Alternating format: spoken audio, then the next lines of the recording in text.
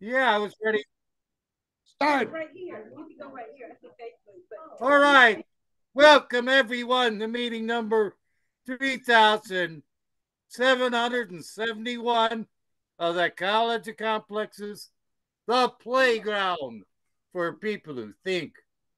Now, we've got two very specific rules that we follow at the college, one of which is uh, no uh, one fool at a time. And the second one is no personal attacks. Now we follow a specific format. We listen to a presentation followed by question and answers, and these should be questions.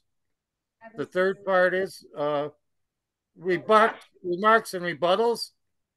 A certain few minutes, everybody gets to speak. And the last part is the speaker's final remarks. Now, although I am not a capitalist, I will give an advertisement for our 10 upcoming programs. Please note, we've made a few adjustments during the week to the schedule to accommodate speakers, so your printed schedules may not be accurate. Also, we may fill some of the spots that are open right now during the week. So check again to see about the finalized schedule. Okay, now on June 22nd, uh, we're going to have a retired academic uh, from Purdue, I believe, uh, talking about how the climate crisis can be attributed to capitalism. We've got to get rid of capitalism, he says, in order to save the earth, and I agree. On June the 29th, this is a new entry. Our own Mike Lee will be talking about his trip to Europe, and he's going to talk all about high speed, uh, sustainable transportation by rail. So there could be a good program. Know, they're, they're well advanced, the ICE system in Germany. On July the 6th, we're going to try something brand new for the college. We're going to have a point counterpoint. I'm going to talk about 25 mistakes that have our country has made. I'm not going to talk about some of the major ones, but I'm going to offer solutions as well. In the tradition of the college, you offer a problem and a solution. And my solutions are really good. We'll be followed by Peter Pirro, long-term college regular, who thinks there's America's made is wonderful. He says, God bless America. And he wants to talk about all the wonderful things the United States has done. On July the 13th, this is presently open, although it may be filled during the week. We've got a number of speakers, uh, adjustments to the schedule. So a number that we're under discussion. But if you'd like to speak, please let me know. I need a, a, a title and a brief description of your presentation. And please, no repeat programs. On July the 20th, uh, the gentleman here who feels we're going to talk talking about green energy. And he's got some he, his analysis. He does not think that green energy is going to work, is going to meet our, our, our energy needs. Uh, so we're going to be looking at the climate crisis again. On July 22nd, a gentleman wrote a book. This is economics, and he's calling for a new social contract. Interesting program. He comes from our satellite campus. On August the 3rd, Tom O'Donnell will be returning, young man, and he's going to give us some uh, advice on how to improve your mind. Something much needed at the college. How to improve your mind. Hopefully, everybody should attend this program. On August the 10th, we're in an election year. We're going to have our first ever political candidates. Mike, Mike Rice running a vigorous campaign in the 8th district outside around Chicago. Uh, and he's got some views. Uh, he's saying to get him elected uh, the, for that district. This will be followed on August the 17th by Chad Koppie, who had been thinking about running for president. He's, he's a farmer. So we're going to hear about rural issues and farm issues and food issues. Uh, and the agriculture, the place of the agriculture industry in our nation, food processing and so forth. So that's Chad Koppie, candidate for the seventh district. Uh, okay, now uh, on August the 24th, we're going to welcome HOME Home, which is a really, really good organization. Everybody should learn about. It's it, this originally started as the Little Brothers for the Poor, but they're one of a kind organization that works for senior citizens. They take them shopping, thousands of rides apparently, and they're looking to, to provide them with independent living, uh, which is a common theme among seniors. They want to remain in their homes. So August the 24th, uh, HOME. That leaves August 31st is open uh, if you'd like to speak. And transitioning into September, we have three dates open 7, 21, and 28. And on the 14th, we're going to have a, this is another interesting candidate, uh, Ashley Ramos, running right here in the district, in the sector district against Kelly, Robin Kelly. So this is a hot contest. Uh, she's running a vigorous campaign in the second district centered in Chicago. Anyhow, that's it. Thank you, and take it away, Tim. Okay. Uh, all right. We're now going to welcome our uh, speaker tonight, um, Sid Cohen. He's going to kind of speak during his speech. Um, let's everybody give a. He's at 96 years old. Sid is probably one of the biggest, best uh, guys who well represents age and uh, and well and has kept his mind well and sharp. All right, Sid, I'm going to give you a microphone yeah. and uh, we'll uh, get you started here. Hand him the microphone behind the thing, please. All right, let's welcome Sid Cohen. Yeah, Sid! Yeah! for president! Okay. All right. Okay, there you go. Good. Go ahead, Sid. Um, it's all right. It's all going. When um, Karl Marx went to the what they call the gymnasium, which is actually a university. He wrote home to his father that he's learning ancient Greece because he wants to learn about their philosophies and about the way they lived and the, the makeup of that. So his favorite um, um, philosophers, one was named Democritus. The other one was named Heraclitus, and the next one was named Epicurus. And he read those three. As far as Democritus was concerned, everything in the universe was made up of atoms. And the atoms, besides atoms, there was void. There was nothing there. So he read this, and um, Democritus also said atoms are indestructible. You cannot destroy them. But as we found out under the University of Chicago, atoms could be split. And that's where the atomic bomb comes from. But to make that type of uh, idea during that period is, is very comprehensive, very intelligent. And then there was another philosopher. His name was Epicurus, and he wrote about Democritus. And um, and he said Democritus was wrong in one way that the gods um, uh, made up their mind what we should do, and they were guiding us. But he said that the gods were slipping we're living in different entities and nothing to do with uh, ruling us or controlling us. They lived in separate entities and they allowed humans to do what they wanted to do.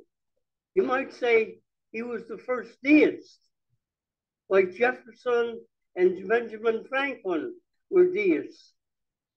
Heraclitus made the comment that you cannot step in the same water twice because the water is contrary, constantly moving. So you cannot step in the same water twice. There's always change and there's always contradictions. When two people would argue about things, they use the dialectical formula, and that is to try to see where that person was making contradictory remarks and to catch them on these dire, uh, the, the, uh, the false remarks, that's where you find the truth. It's more or less like detectives in Chicago or any other big city.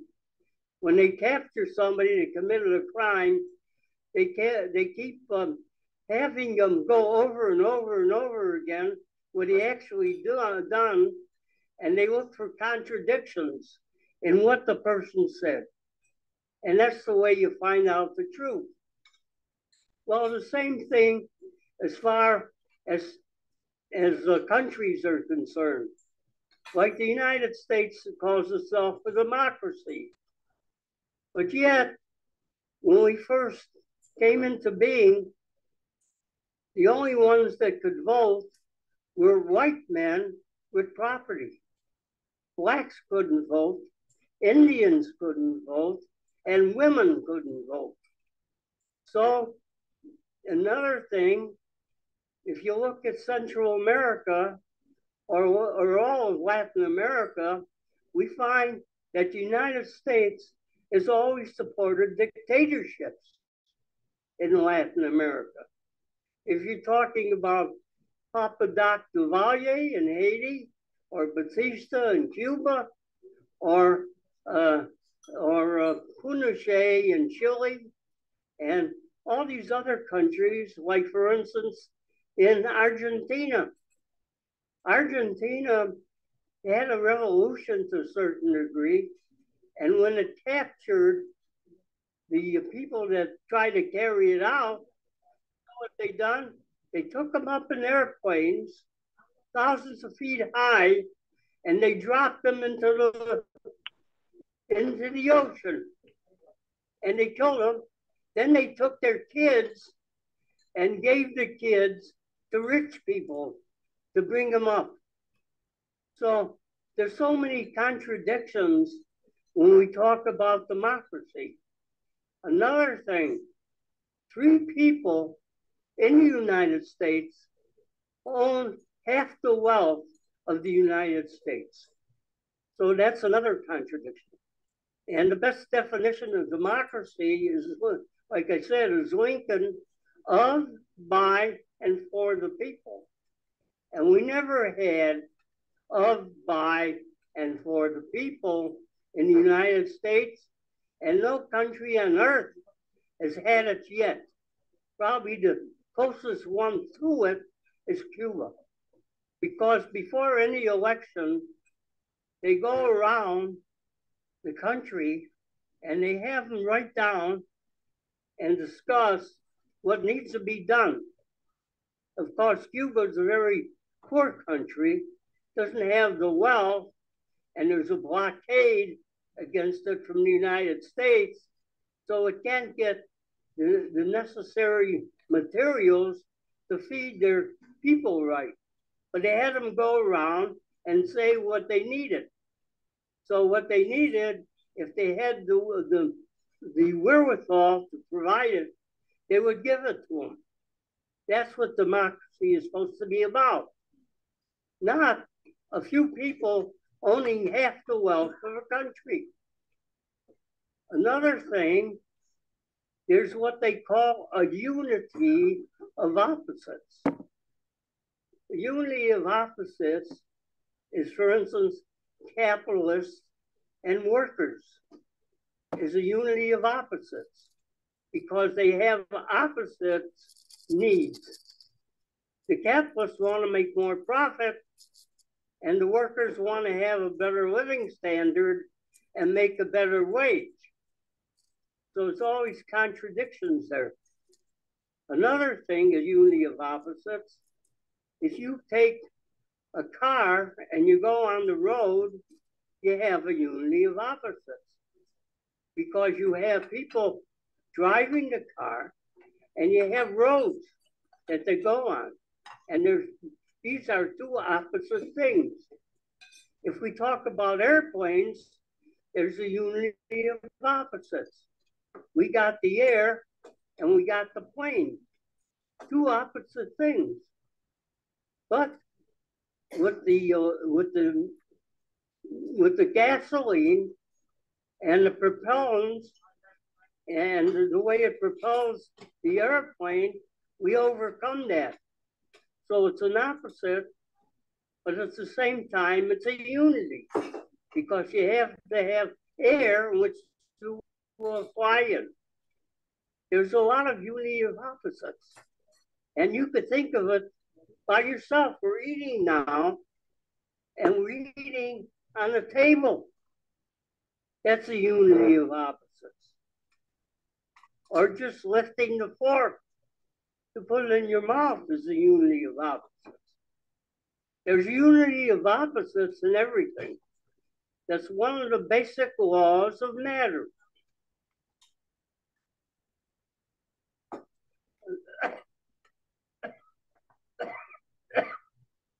Another one is the negation of the negation.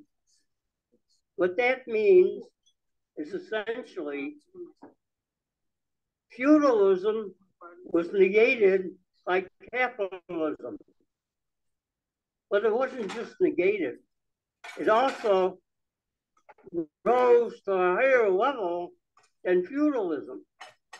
Because with capitalism, we were able to develop industry. And industry, we were able to make life better. Not only that, but we got machines.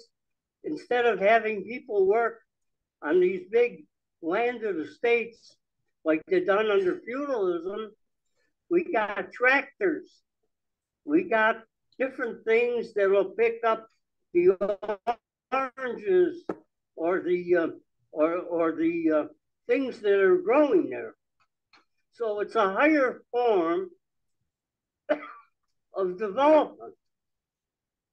Like, for instance, during the revolution in France, we had feudalism. and we had what they called the guilds. The guilds were small businesses that specialized in certain things. Like if you're for your house, you go to the guilds, and the guilds would make the furniture. If you needed a house, there was guilds that made homes. So you went to them and they made a home. If you wanted a, a, a picture of yourself or a picture of anything else, there were guilds. And you go to the guilds and they will make it for you. Like um, for instance, Leonardo da Vinci belonged to the guilds. Michelangelo belonged to the guilds. So there were guilds for everything that you needed clothes, food, everything. And that's the way people lived under feudalism. Another thing about feudalism, the guilds couldn't get too big and there were certain things they couldn't do. They couldn't become part of the aristocrats. And there was all kinds of things for them not to do, or they couldn't do. Why? Because the feudal lords didn't want them to get too big and take over society. So what essentially happened, the New World was discovered under Columbus. And when that happened, the Spanish, the English, and the Portuguese went to the New World. And the New World, they needed homes, they needed furniture, They needed, needed, they needed they everything. So on the hill started it becoming, started bigger and bigger and bigger. Until the point where they out out became factories. And when they got that big, what happened was they went into the feudal lords' property and they told the serfs, you have to come and work for us. And they dragged them away if they didn't want, or they would put them in stocks where their hands and their feet were in this wood and they couldn't do anything. And kids would come up and throw things at them and things of that nature. So they had to come into the factories. The factories were miserable. They had to work from dusk to dawn. They had to bring their own coal so they could be warm. And they didn't get off even one day if they didn't bring a note from the from the uh, religious services that they went to that they went there on Sunday. They couldn't get no time off. So they had to go to religious services. And they were even worse off than they were under feudalism. And in France, they had a bloody revolution. And when they got hold of the feudal lords, they sent them to the guillotine. And at that time, they had Uh, uh, like a, a, a government that had different parts to it. And one of the parts were the Jacobins. The Jacobins were on the left, and the conservatives were on the right. So that's how we got leftists and rightists. That's where it comes from. But in but in in uh, England, there was a marriage between feudalism and and capitalism, and the feudalist lords became capitalists. That's why you still have a queen and a king. And if we go to the Japanese, the same thing happened there. They had feudalism, and the feudal lords made up their mind that they better go and become capitalists. Other ones, otherwise the West would conquer them. So they became capitalists. So there was a wide difference between feudalism and capitalism. Under feudalism, they had none of these things. They had no cars, they had no airplanes, they had no no uh, nothing to uh, uh, grow things as far as tractors were concerned and things of that nature. So when I say negation, uh, negation, it means the first negation, doing away with feudalism, comes to the fore and becomes, becomes the ruling class. And the new ruling class is far more advanced than the old. So we get progress. It's the same thing that's happening now. We're very much in danger of global warming. And you can see it very easily. If you go south and west, last uh, summer, it was so hot in Phoenix that even if you're wearing shoes, you could not walk on the sidewalk. It was so hot. So if we keep going like this, this planet become a dead planet after a while because nobody, no animal, no human, no growth as far as food is concerned. So this will become a dead planet. Either we go forward or we die. That's the re- resolution that is happening now. If you watch television and you watch the weather, they never mention global warming. Why? The government told them they cannot mention global warming. They're not allowed. And if you watch television, you watch the news, just listen to it, and you can hear that every time you put on the weather.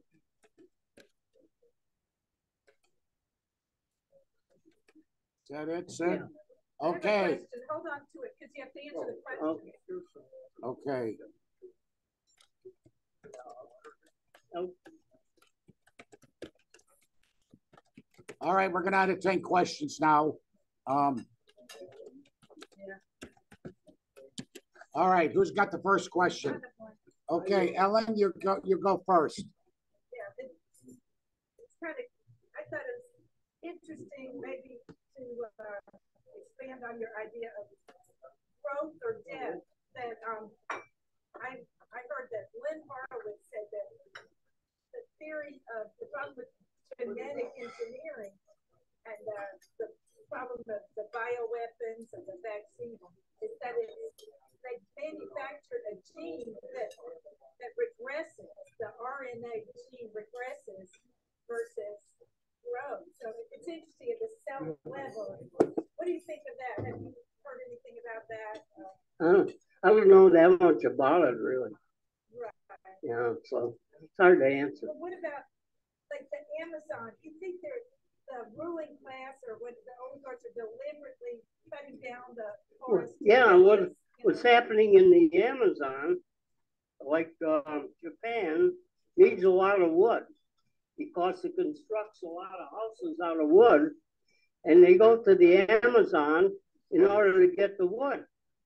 Now, the Amazon, what happens is it sucks up a, a lot of um, the stuff that produces the global warming. I forget the name of it.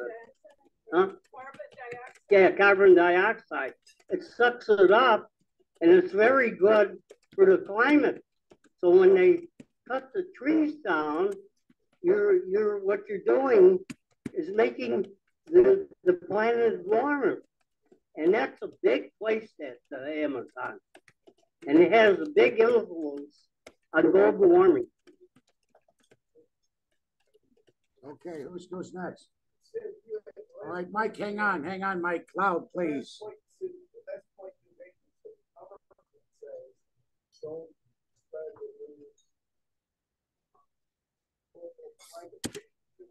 Yeah. Yeah, Everybody not to. exactly. Yeah. I think it's the bigs. Huh? The bigs, like the big uh, corporations. Yeah. Those are the people, because they know that their advertising. Right, right. Are telling the bigs. so they- We can't hear the They questions. The question is, why do you think it's government telling people? Tim, repeat Well, the the- question. Actually, Whereas I think. Actually is the the- bigs, that's why. Okay, Mike, the government is actually a capitalist government. And it, it protects capitalists. For instance, when they want to take oil out of the country, what they do is they put the oil in the tanker and they have ships from the United States protecting that oil. And they don't pay for it. Yeah. um, all right. All right, hang on, let me get your microphone. Let me, let me pass that to him for Sid. Okay, okay. All right. Well, I, I, I liked what, um, what's his name? Mr. Cohen. I, I, I like what you said about the contradictions. Uh, that, that's the way, uh, detectives solve, when they interrogate. Yeah. They look for contradictions, but you say it's, it'll, it'll, uh, you can get truth that way. Like I'm in a sport. I'm, I'm still trying to get better at the sport, and uh, I could use that in, in the sport, the contradiction, and and that'll give me the real truth, right? The better way of doing it. All right, we're gonna let Sid go next here. Well, another thing I forgot to bring out, or I did to a certain degree, and that's change. Change, change is part of matter. And matter changes constantly. For instance, in your own in your own body, you got cells that are breaking down and new ones coming into being. And and there's um what you call a, a, a tipping point where you're, where you're going to die, and that makes for uh, for a change, a, a, a, a real deep change. Okay, who's next? Okay, let's, uh. Hang on, hang on, let me get your microphone. So I'm going to ask a question that I think Tim O'Donnell would ask if he were still here. Um, Tim left because he observed that you've been a Marxist for 80 years and yet that hasn't solved society's problems. So do you think that is just that the type of com that, that we haven't tried enough different types of communism? Do you think we need to try a certain part? Is there any reason you think communism has failed or do you think it has failed? Well, the Soviet Union was the most backward country in all of Europe. It was sort of like a chain that had a weak link, and it broke at that weak uh, link. And so it was the most backward country in all of Europe. It didn't have the working class, let's say, of Germany or of England or even some of the Scandinavian countries. It had sort of like a mix of feudalism and capitalism. So when um, when Lenin came to power, what happened was he wanted the workers themselves to run the country to a certain degree. By that, by learning how to work the country, eventually they wouldn't need a government. They would there wouldn't be a government. It would be a people that ran their own their own their, their own their own society. The people themselves were the society. And they didn't need a government and they didn't need a standing army because there wouldn't be no wars because everybody had their needs taken care of. For instance, in that type of society, you could teach people if they need something to go to a certain store and pick out what they need and go home with it. But it wouldn't have no value outside of use value. You couldn't sell it. You couldn't buy it because there'd be no money. And people themselves were running their society. So it wouldn't be a need for all that. And you got to start that as soon as you come to power. Give the working class a certain amount of, of, uh, uh, of usefulness as far as running that society. When Stalin come to power, he didn't do that. Everything was done by the party, and very little was done by the working class. And that's why it failed. Another thing, they couldn't provide the things that were needed by people because of the Cold War. They put so much of their money into war material to match the United States that the living standards started to go down. If they would have put their living standards first and defense second, they would have been okay. And that's what's happening in China. They put their living standards first. And they try to raise the living standard of the average worker. China used to be almost 90% poor people. Now, more than half of the population, as I think it's 1.4 billion people, have been brought out of poverty. Okay, uh, I'll get Ben and then I'll get you. Okay, go ahead. Yeah, you ta- talk about the government making it illegal to talk about global warming. I didn't That- say that. All they do is talk about global warming. That's all that comes out of Bite Me's mouth. Bite me. So the question, so the question is, You put down the weather. Go ahead. Listen to what they say about the weather. They never say global warming. Never. Yes, they do. They almost say it daily. No. Uh, yes. Where? Where? What radio do you listen to? What, what media? What medium? WBS. WLS? All right, That's the only one. Do you believe in global warming? okay, uh, Yeah, that's all right, Charlie, you got your hand up. Go ahead, Charlie.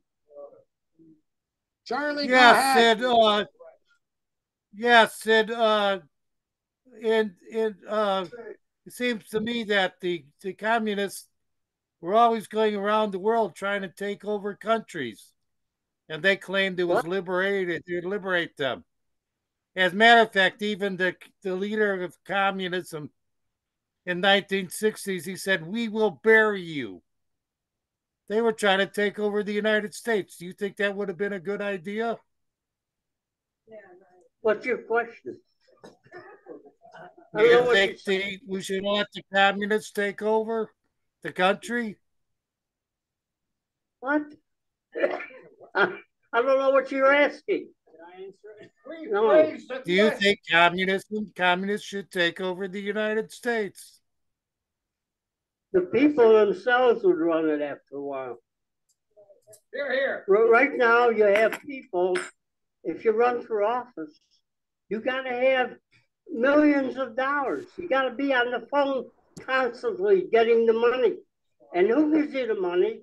The millionaires and the billionaires. And they're the ones that call the shots. They're not representing me or you.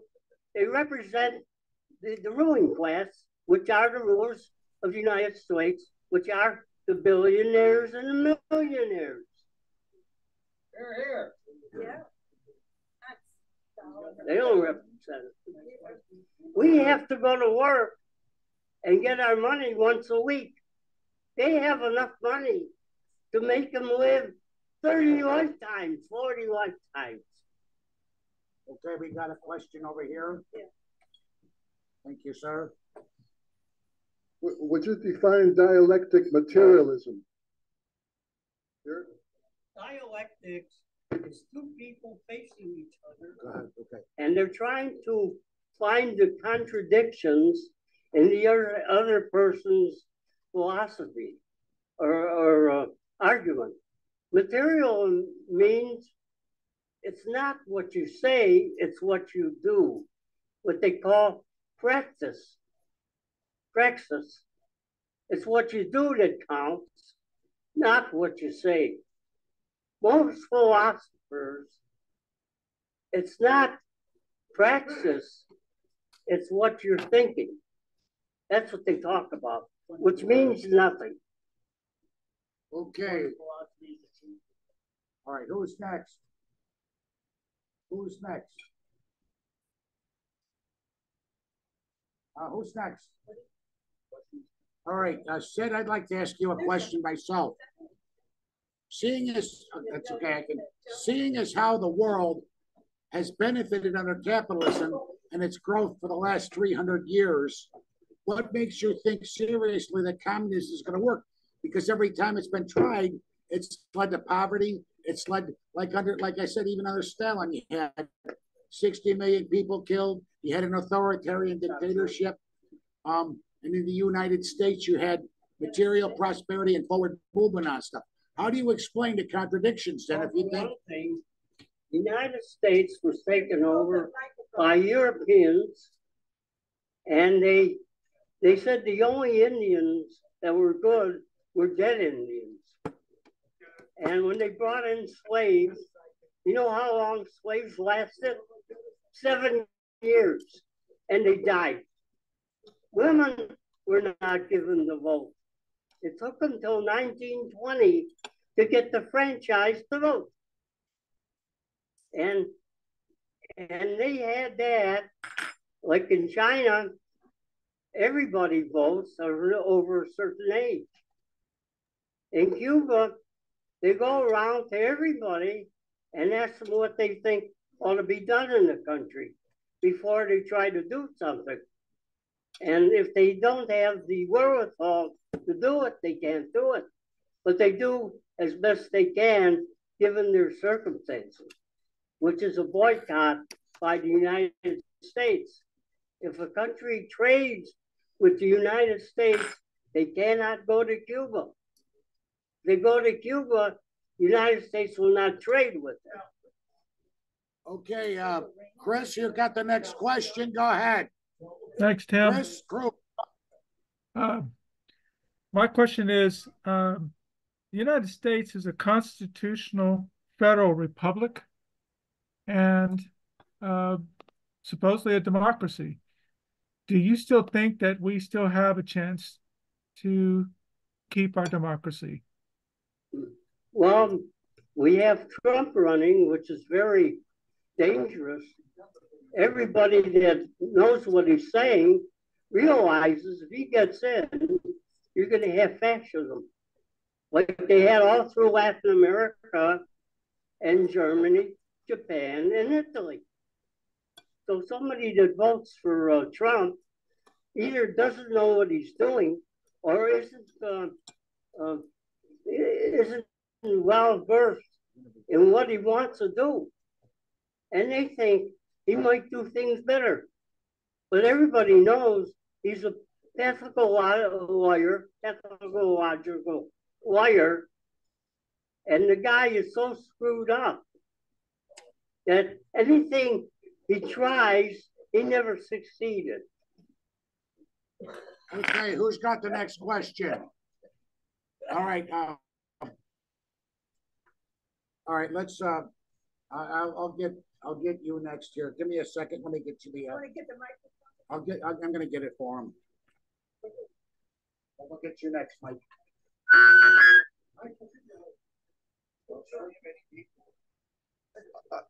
Well, are, are you a, are you a are you a are you a Marxist and why are you a Marxist? Because capitalism really doesn't work for most people in the world. You go to Latin America, that those countries are so poor. I, re I remember I was in Mexico, of mine, uh, and we wanted to go. Start again. Start from the top. Sid. Yeah, we wanted to go to Cuba, so we took a plane, and the plane got screwed up and landed in different part of Mexico. Madria, I forget the name of it. And there was a railroad car right next to the airport, and you see these old people.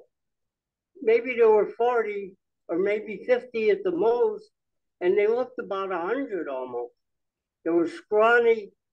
They lived in the car boxes of the railroad. They, were, they weren't very well off. And if you go into the small towns in Mexico, the situation is very bad. There's an author, um, he wrote um, the um, uh, about the Sierra Madre. What the, the yeah, yeah, the treasure of Sierra Madre. And he lived in one of these small villages and he wrote a lot about it.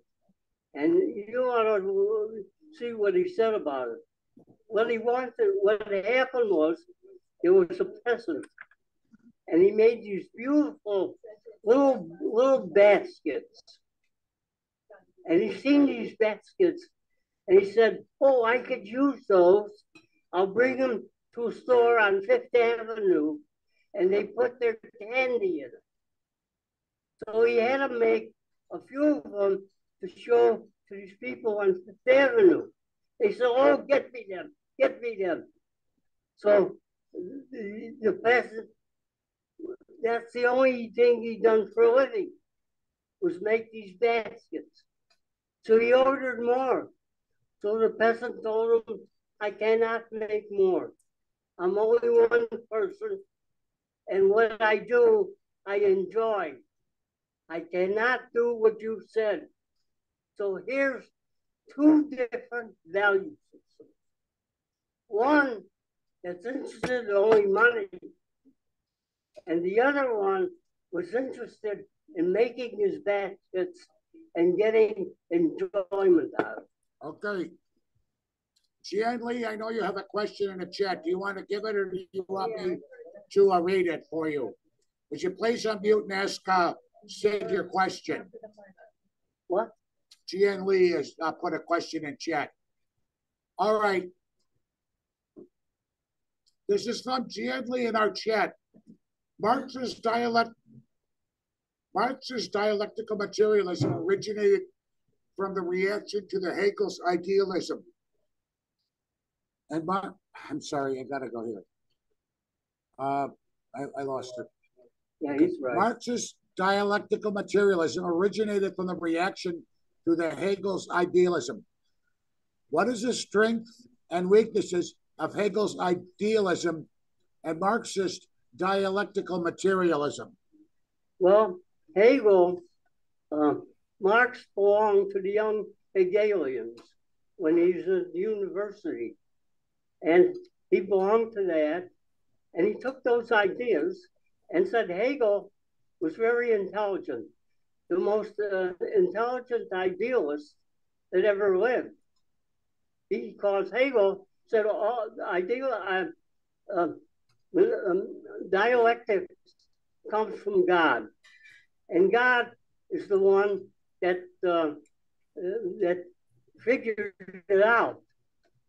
Now, Marx also read uh, Feuerbach, who was a materialist, and he took these two ideas and put them together to show you what the basic laws of matter are. And that's what he done. He put them both together and show you the basic laws of matter and how to change it.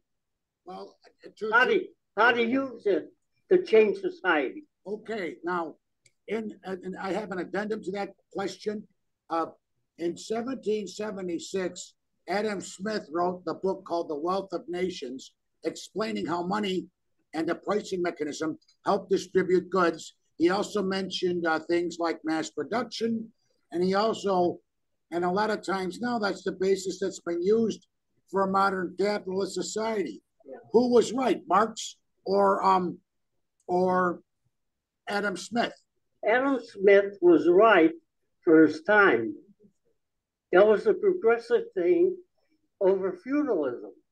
But things change constantly.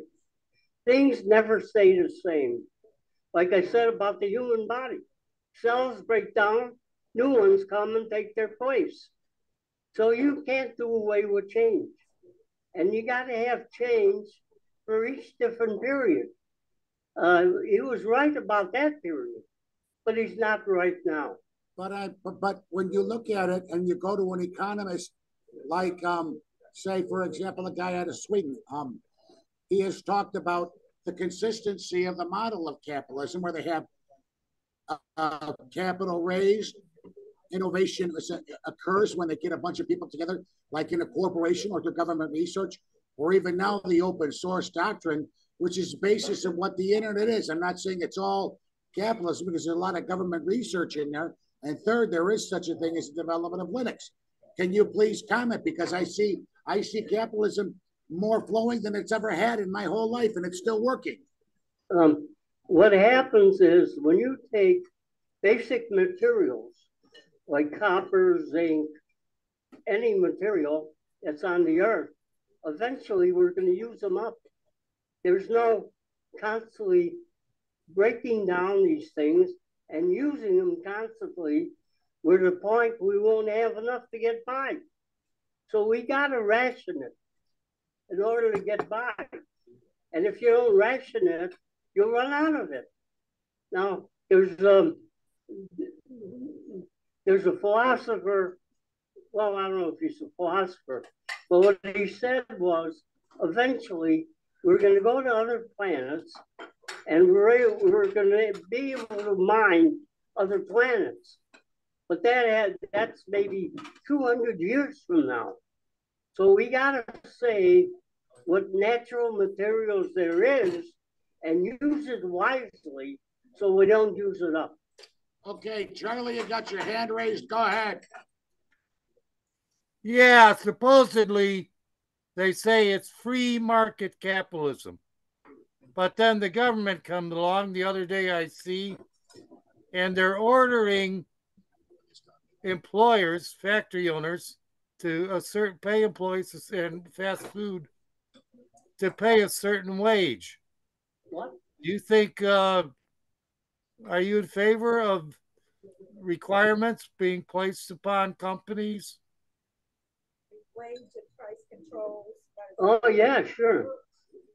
Yeah, you gotta you gotta control them because I was listening to a program today where people had uh, um, the blood disease. Uh, what? What's that? Diabetes. Yeah, diabetes, and they said the price of the the medicine is so damn high, a lot of people can't afford it. The the, uh, the, the pharmaceutical industry has become so greedy that it's that people have to die in order to get the medicine. Okay, um, think they're intentionally that way. They, they know they're being evil. okay, no, no, we They got, don't care. It's all they care about is the bottom line. okay, we got a question from Lily over here. Lily, if you can stand and, uh, okay, Lily. I, I just want to ask, um, what do you think, um, how do you think the Cuban people are doing today? And do you think we'll ever end the embargo?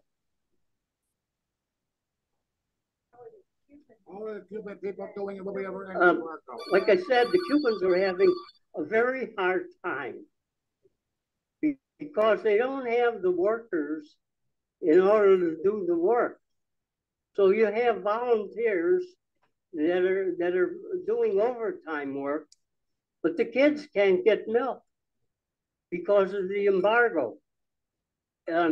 It's only a small country, maybe 11 million people there, and they've they've um, um, done a lot of good things. There's people with certain eye diseases where they have the only cure for the eye disease.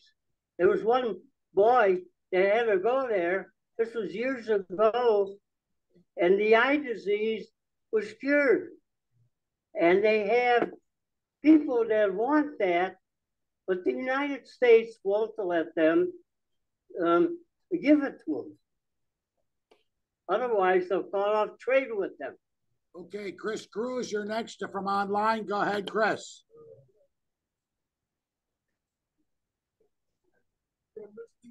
Well, we'll get him. Okay, Chris, go ahead. One second. Unmute, Chris. Lily has Gotcha. All right, Thank Lily's got a, hang on, Chris. Hold on, Lily's Do you think the follow-up. embargo will ever end? Do you think the embargo will ever end? Okay, If enough pressure is put on them, maybe it'll end. And most countries in the United Nations voted against the embargo. There's only about five countries that voted for it. okay, so, uh, Chris, you're next on the line. Go ahead, Chris. Uh, thank you. Um, Uh, my question is, um, what is the difference in your mind um, between Marxism and autocracy or dictatorship? What's What's the, what's the difference? Chris, why don't you say it again? Yes. What is the what is the difference between Marxism versus autocracy or dictatorship? Hypocrisy? Autocracy. Autocracy? Or No, it's dictatorship? not, it's not really. In, um, in, um, Russia, it was to a certain degree, uh, the dictatorship of the party instead of dictatorship of the workers. And uh, they, they didn't have enough power in Russia. They should have stopped trying to build all these defense weapons and let the people have the money to buy things. They made big mistakes in Russia. And China is learning from those mistakes. It's not doing that. Is the United States making that making a, a difference in that? Oh, yeah. The United States has the embargo. Hmm. Interesting. Okay. Thank um, you. Thank you. Who's next? Anybody else here up next? Interesting. All right, Mike. All right, Mike Lee, we'll get you next. Sid, you're all in favor of um, Marxism over capitalism. Yeah. Yeah? Sure. Here's my, here's my theory is that we have to have um, democracy and free market. However, it has to be uber regulated. Because whenever you hear about Republicans or authoritarians, they're like, get rid of regulations, get rid of regulations. And it's all about their, you know, we're the bigs. We want nothing, you know, no government control. But we have to have What's the question? Okay, the question is why are you not in favor of free the free market? We have to have regulations. A free market with lots of regulations because America's so corrupt. Actually, there is no more free markets. That went out with the dodo bird. Free markets, uh, that's about a hundred years ago that have left. What you have now is monopolies. And monopolies control almost the whole economic system. And they got so much money to buy off the politicians that the politicians, a lot of them won't uh, vote for things that make the people happier. And the Democratic Party acts like the party of the people, but he gets the same money that the Republicans get, but he gets, but the Republicans get more of it. Okay. Who's next? All right, we still got plenty of time. Unless you want to start rebuttals right away. Um, who else has got a question? I'll ask one. Um, do you think it's a good idea to try to achieve a moneyless society? Yeah, eventually that's under uh, true communism. People would work and just go in and take what they need. If they wear out a pair of pants, oh, then you go and get a pair of pants. It won't cost nothing. Uh, people will, be satisfied because you, if you try to sell it, it won't be worth anything. It, it will have no money value because there won't be any money. You just go in and take it, but you contribute to society. That's what makes you have it. He's talking about use value versus exchange value. Question from Luke. Go ahead, Luke. Sid, uh, uh, excellent, excellent uh, presentation. Uh, my question is, uh, do you have an example of a modern country that uh, a communist country that you would showcase? Well, I would say Cuba because they go around and they ask the people what they should do and what needs to be done. And the government um, tries to do it if they have the wherewithal to do it. And I would say uh, people, no, there's no millionaires and there's no billionaires there. And if people need something, if there's an extra supply, it's it's it's just given to them free. All right, Charlie, you're next. Go ahead. Charlie, yeah, Sid, do you think Sid, do you think the government should take over industries and nationalize them and operate industry for the people and not for profit? Let's say the railroads.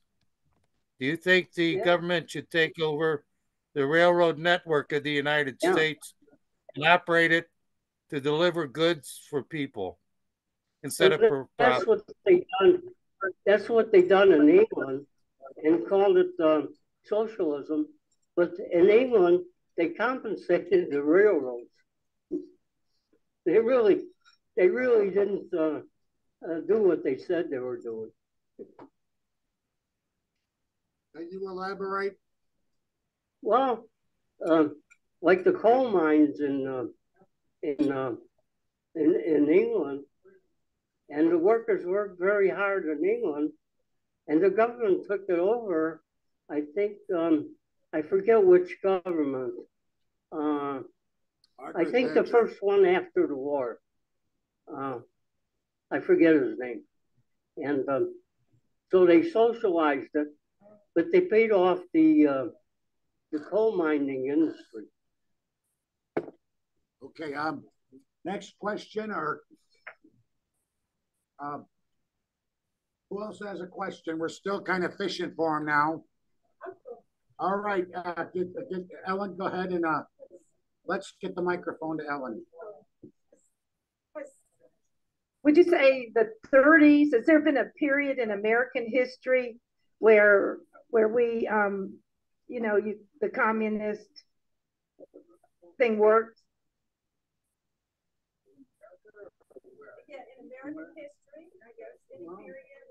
In the 30s, uh, during the Great Depression, the communists had about 100,000 members. And in Russia, there was only about 14,000 members. So Roosevelt became fearful that the communists going to take over so he brought in the New Deal. But the New Deal was very limited. It was limited to the big cities and it was limited to a certain degree because the billionaires and the millionaires at that time, like Ford, tried to uh, get uh, Smedley Butler to be a dictator in the United States. So he was fearful of going all the way with that. But if he did, we would have been a lot better off. But he was fearful of doing it because he thought fascism might take over. Okay, Sid, from the from the chat, there's been some stuff uh, saying that each society is unique with its history and traditions. Like there's been some traditions in capitalism, some in communism, you know, some are cultural differences. What do you think the best way forward is that a country should adopt and what principles should it make to pursue its growth and help its people? To make what? To what is the best way to make a country not only take care of its people, but promote its own growth? Well, what we have now, we're growing very slowly. Maybe a little faster now with Biden because he, he uh, put in some uh, uh, devices as far as stopping global warming, and the unions are getting stronger. And most people in the unions uh, are bringing in new people into the union. So it's getting stronger. And I think Biden is okay, except for war. And they have two wars going one in Ukraine and one in uh, Israel, in Gaza. And both these wars are enriching the uh, the uh, armaments business, and the armaments business, of course, what it what it does is in wars things are destroyed constantly. If you have a car, a car will last maybe 10, 15 years, but the war it's destroyed in one day. So you have to keep making it. And that's what's keeping the economy going.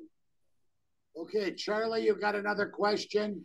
Yeah, Go ahead, I- Charlie. um, a lot of people are complaining about recent increases in prices of food in grocery stores. It's hard for them to feed their families. Do you think the United States government should take over agribusiness and operate all farms to produce food for the people at cost? Yeah, well, they should, but they won't do it because there's only about three companies that control it. Um, I forget the name of the companies, but they're the ones that distribute all the food. And you have small farmers that are not making much, but they want to keep their farm. But you have industrial farms now where you have chickens uh, in a little cage, maybe four or five, and they're pecking each other. And chickens are supposed to be out eating grass. And they feed them corn, which is not good for chickens. So that type of uh, farming is just awful. Uh, Tyson is one of the people that are growing chickens. And they have an indoor lot where they're inside a big barn and they go around in the barn and they have more room, but they're not getting grass to eat. When they get grass, that's what they're supposed to eat, but they give them corn, which they're not supposed to eat. Okay, we're gonna get a question over here. Lily will get to you in a sec. We're We're gonna gonna go to you. Dan and then Lily and then Troy. All right, a hundred, a hundred years ago in Germany, there were, there were street fights between the communists and the right-wing Nazis. You, you know that, right, uh, Sydney? You know about the street fights in Germany between communists and Nazis? They were killing each other, actually, in the streets of Berlin. So, do you think that America is close to 1930s Germany?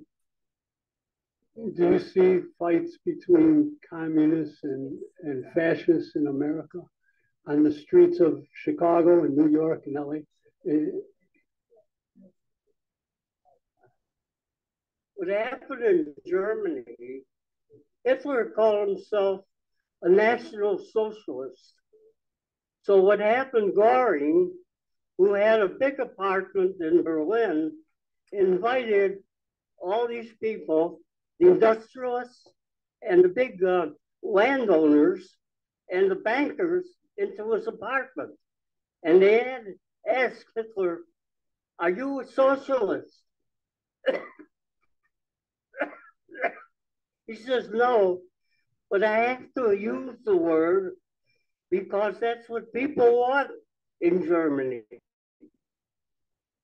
So the communists got a lot of uh, people on the street fighting the Nazis. And uh, the Nazis would go around killing people with the brown shirts, Hitler's brown shirts. It was constantly going on before Hitler came to power. But when he said that he's not a socialist, he's big industrialist, and and the, uh, all of the uh, people that had the wealth supported Hitler because they realized if they didn't, there would be a revolution there. Okay. And the same thing could happen here. Okay. Because if you if you look at the army, who's in the army now? Minorities are a big part of it. The blacks and the Latins are a big part of the army. And if you have problems here, the army might not support the dictatorship. So you could have a civil war here. Very easy. Okay, we got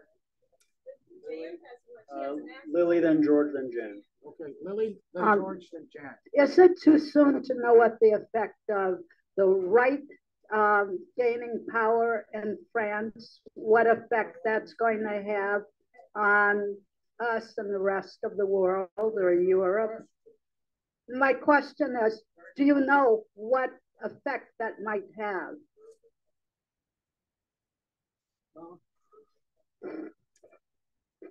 Oh, I, I think her name is Mary Le Pen. And uh, she ran for president. And I think she got something like 15% of the vote. And uh, uh, the, the president now wants to have an election to get rid of that type of thing if he, he knows what's going on there.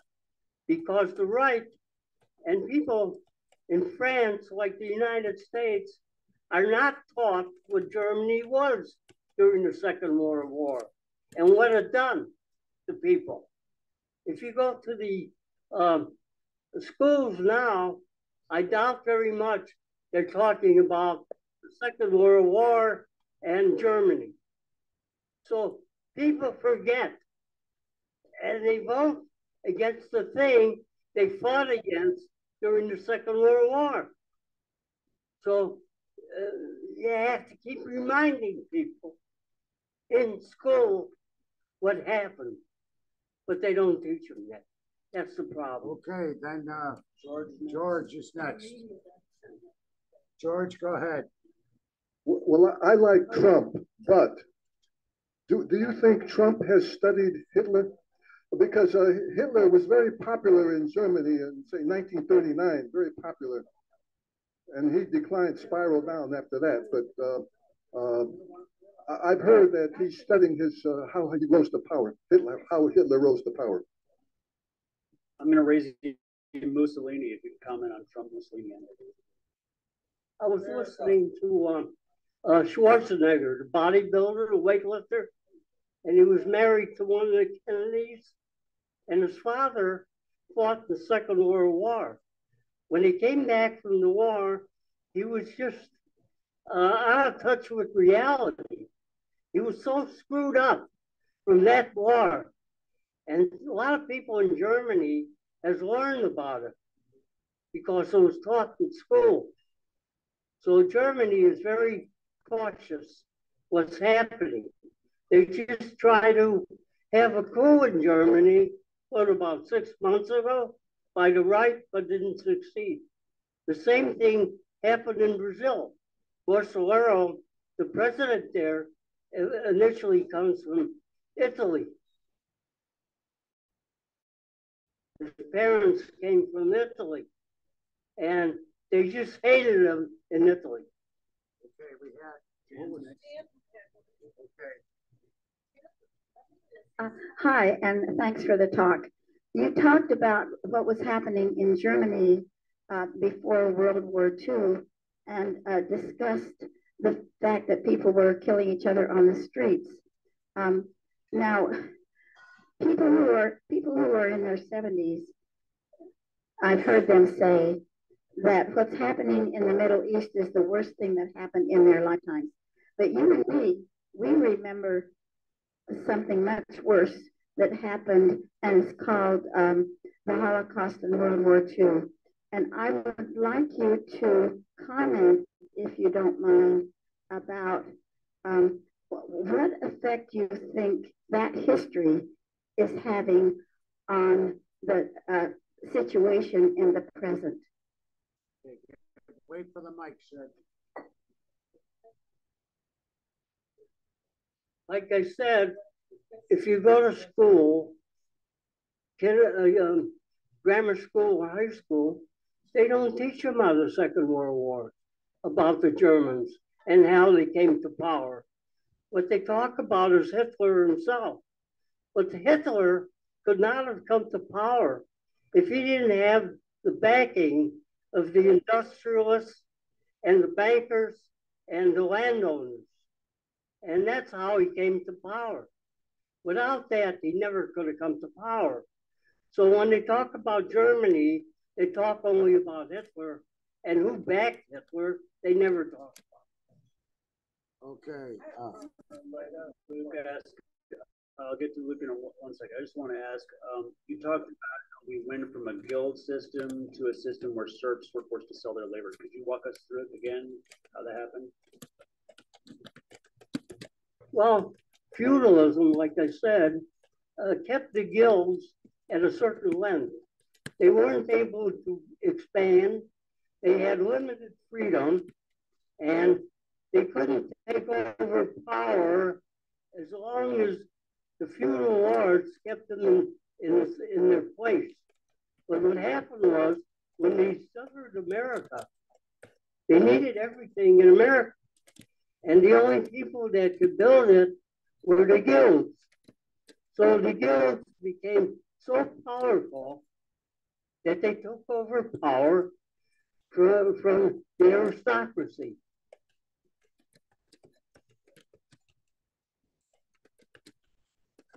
Thank you. Uh, my question is uh, about uh, Russia and uh, the founding of the communist state uh, in 1917 uh, or 18, whatever it is.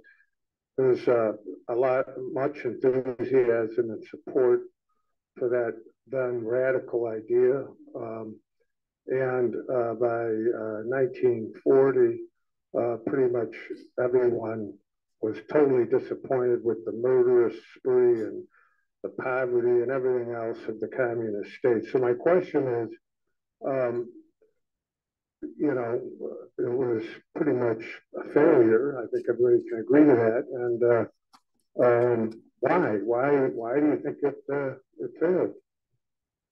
The experiment of communism. Why did the experiment of communism fail? Actually, we had the World War II, and that was over in 1945. And in 1945, they had to start from scratch because so much was destroyed in the Soviet Union. What they done in the Soviet Union is the same thing they done under the Tsar when, when Napoleon invaded. What they done they didn't leave anything for Napoleon to eat. They didn't leave anything for Napoleon to stay. They they just cleared off anything, so he didn't have any support in any way. And the lines from France to Russia were too long. So Napoleon was defeated. And what happened was Stalin had the five year plans and they built up very fast uh, until the point where they had the Cold War and they had to concentrate on armaments.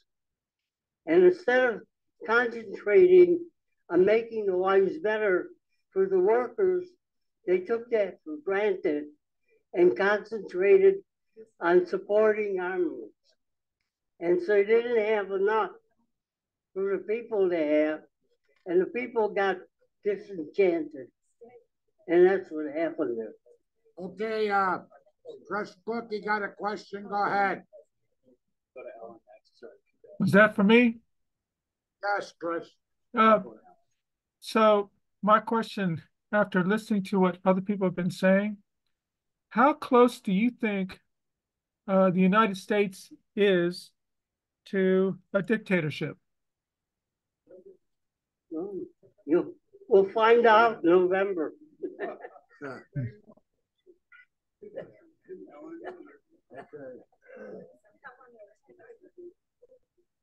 I guess I could you explain this idea of counter revolution? Is is there some intent by a person, a group, or you know, oligarchs or something? Um, you know, is there any way to have a real revolution in a good way?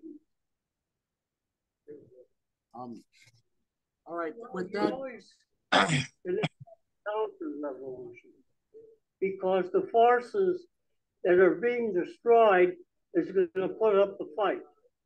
If it doesn't put up the fight, it'll lose automatically. So after the revolution, what they do other things, they try to sabotage. And there's people in the government itself, they're counter-revolutionary and they make off the revolutionary. So you gotta pull up some people that'll go the opposite way and try to overthrow the government, new government that comes into power. That's why you got dictatorship of the proletariat. Dictatorship of the proletariat means dictatorship of the workers, so there's no counter revolution. Okay, at this point, I'm gonna say, let's get our, uh, let's go to rebuttals. And, uh, I'd like to know who's got a rebuttal, uh, ready to go, because if not online and in person, there's a lot of people wanting to go right away. And it's just sticking right there. What is it? Uh, There, there, go, well, go ahead, Mike, and get up there. We'll give you each about five minutes or so. How many people in Zoom? There's seventeen right now, Mike, sixteen. Wow. Yeah, I know, but, Everybody show up for my uh, transportation. all right, Mike, if you want to go rebut, rebut. You, you got a chance to use the microphone and, uh, Don't forget my program on June 29th. You'll be very entertained on a communist, former communist country and infrastructure. All right. I um I think that the only way we're going to go forward is free market and a democracy, a representative democracy. However, since America is so corrupt, and it seems like it's getting more and more corrupt every year. Um, I hate to agree with Obama. However, when he trash talked Roberts, when Robert said money was the same as speech, way back, when was that, 10 years ago? Mhm. When Robert said money was free speech, that was a real bad idea. And now we're paying the consequences. Because speech comes from here and money comes from here. and I think Roberts is a lot to, you know, I hate to agree with Obama because he bailed out a lot of billionaires, billionaires. Obama's res- responsible for 15 trillion in debt. And then um, Bush and Cheney are responsible for 5 trillion for the oil wars. And Trump is responsible for 5 trillion in debt for his bailout of billionaires. So when you look at the debt around 25 trillion, 30 trillion, I like that, a lot of it is these three presidents that bailed out. Um, but Tim's one, I can talk. Uh, so I think that's a lot of the problems is just bailing out, getting the bigs bigger and the, the rich richer and the haves have, have more. So um, anyway, I um, the, the only way going forward is we got I think representative democracy and just really good regulations. When I look at European countries that seem successful, you know, first world countries, uh, they have representative democracy also, but they have a lot of regulations. And people have free speech and they protest. And they protest hard. And uh, in this country, we're, uh, we're free speech is now, you know, the Constitution the free in free speech is in peril after the uh, protests of the genocide in uh, Palestine. How much time have I got? got about two or two or three more minutes. Oh, I'll uh, give the rest of my time to Sid. Okay. You're up, sir. Thanks, Mike. Thanks, Mike. Thank you. You're up. Get rid of the bigs. You're up. Go ahead. We'll get take take it. Take about five six minutes. Well, since August 2022, Chicago has taken in over 41,000 illegal aliens and migrant asylum seekers. As more homeless people arrive from the southern border, existing Chicago residents are forced to compete, compete against the newly arriving homeless migrants for available housing, jobs, and other services. They're taking all this, uh, these uh, uh, uh, housing. They're taking all this housing and they're going to push us out of our homes. Uh, growing, growing demand is driving up rents, leading to more homelessness in Chicago. The city of Chicago has appropriated 300 million for the migrants. Governor Pritzker and, and the state has allotted 400 million more for them. Landlords have raised rents, pushing Chicagoans out to make housing available for migrants. The government is offering free government social services for the migrants for housing, health care, ch child care, college accessibility, family support, food assistance, public transportation, legal assistance, hate crime victim assistance, plus they get monetary payments. Uh, uh, Chicagoans, Americans don't get this. I mean, well, we, we get some, uh, you know, for uh, uh, poor Chicagoans are not included in these programs. Americans pay taxes for migrants from another country. Most migrants don't qualify for asylum. They are coached to say they are fearful in their country and they are let in because the the the uh, cartels tell them say that you're fearful and that that's the code word to let them in most just walk across the border the biden administration has sent 300,000 migrants to the US on planes to, to be admitted to American cities like Portland, for example. They just fly them over there. And they don't even tell the people about it. You, you won't see them. The, the UN and progressives hate America. They would like to povertize this country. Many of the migrants are criminals, mental cases, and some are known terrorists. Now they are giving up giving some of the 10 to 20 million illegal aliens the right to vote so Democrats can steal another election and nullify citizens' votes. Trump is an imperfect candidate, but he will fight this Marxist claptrap. Yeah. He's telling the truth.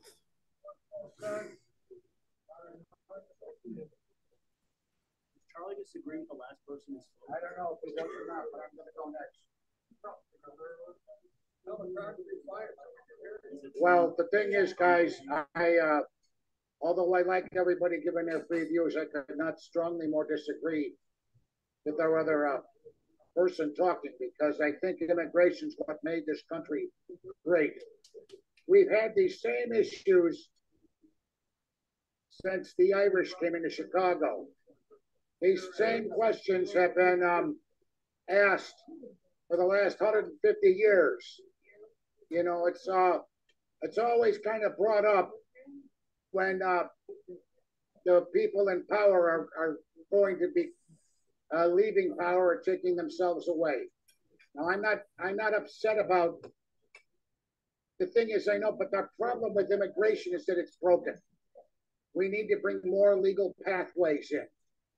We got to do a better vetting process. You've got to secure the borders. Now, in the 1990s, there was a bipartisan bills running through Congress that would have solved all these troubles. And I, I don't remember what it was at this point. But the thing is, I think the whole thing about immigration has been it's it's been the nicest, most divisive, most convenient issue for politicians to run on because they can say they're for it or against it, and then they never do anything about it. Just recently, we had in Congress a bipartisan bill going through the Senate and the House that was worked on by a couple of senators. And then Trump hmm. comes along and says, don't support it. We need it to run on an election for. And that That's nothing correct. could be more hypocritical than that. Now, I'm not going to say that uh, Biden's been perfect because he hasn't been a perfect candidate. But as far as my, my concern is, the decency of the American presidency, the faith back that's been going into government, And the thing is, is that I think he's a lot more stable than Trump has ever been. Given the choice, I would rather support Joe Joe Biden, though I do disagree with some of his policies. Trump did a good job with doing some deregulation, which probably was needed because the government does get a tense to be overreaching sometimes. And at the same time, though, you also have to get rid of old laws that are still in the books. There were some other things he did do. Now, I'm not agreeing with his tax cuts, but you know, when you're talking about deficit reduction like the Republicans want, Trump added as much as any other person did. At least with Biden, you've got a couple of bills that have gone through the Inflation Reduction Act and the Infrastructure Act that is going to make some big, profound changes in this country. And as far as I know, I been a, most of the most of my time and over over the last since Ronald Reagan, I've been leaning Republican. I do support free markets. I do support free trade. I think that communism is a class, is a bunch of bunch of hooey because it doesn't work, and we can see that just by the outcomes of the countries. Those that profess communism have left their people in poverty. Those that have adopted uh, the market capitalism principles. I'm not saying uh, it's all completely free, but I'm talking about um, you know letting corporations and businesses go bankrupt and, and build. And the other thing that you got to realize is that a lot of our revolutionary change just isn't because of capitalism. There are two other factors that have built the United States up. One of them has been their extreme amount of research they put into universities and not taking patent claims on them and then letting companies get them because of that. And the second way has been um, basically file sharing and uh, free uh, free software and other things called the copyleft license. That has also contributed a lot to change in uh, the computer field. For example, many of you may not know what Linux is, but it's a free and open source software that's basically the file structure of most of your data centers in the world. There's also um, a lot of stuff that you can get free and open source. Yeah, you may have to learn a little bit about it, but that's the that's the point. You see, um, one of the things you've got to realize is that capitalism is based on trust. You trust that your that the dollar here is going to buy something, and the guy who gets that dollar gets something for it. And the dollar is nothing more, and money's nothing more than a medium of exchange. And that was very well illustrated in a good book in 1776 by Adam Smith, who basically laid out the basic philosophy of what a market was. He also talked about the divisions of labor. He also talked about, you know, the power of the corporation. And what he also said was something called the commons, which meant that there was to be taxes levied, government support of various functions, and other things. And that model, in a lot of ways, has basically worked. Now, I'm not going to say that mankind is not perfect because we know he's not. Jesus Christ himself said that men are sinners, which means we've all rebelled and fallen short of the glory of God, and there, there is a propensity in all of us to become corrupt to a certain degree. What I like about the Christian religion and what I believe in is that it does give you a good moral code. It does give you a, a sense of conscience that can help regulate that stuff. And I think what we're doing now is, uh, you noticed in most communist countries, they forget about God. They forget about a creator. They forget about uh, things like morality. I've been watching recently some of the old broadcasts of Bishop Fulton Sheen on the internet. Some of them come from the 50s and the 60s, but if you guys would look at him, he is kind of prescient in a lot of his views. Talks about the youth in the 60s having no being rebellious, but not rebelling for something.